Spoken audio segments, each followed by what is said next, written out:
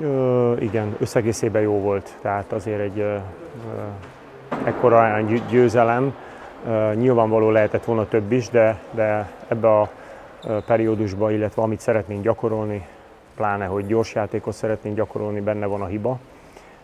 Azért volt egy-kettő olyan hibánk, amit nem szabadna mi szintünkön elkövetni, de nyilvánvaló van még egy hónapunk, hogy ezt kiavítsuk illetve ugye szerdától már a, Ferencvárossal jönnek olyan döntőmérkőzéseink, ahol ezeket nem tudjuk korrigálni, úgyhogy még jobban kell koncentrálnunk.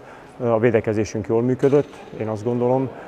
Talán egy picit a kapus teljesítményünk a második fél időben nem volt az elvárt, illetve a szint alatti volt, de összegészében véve dicséret illeti a lányokat.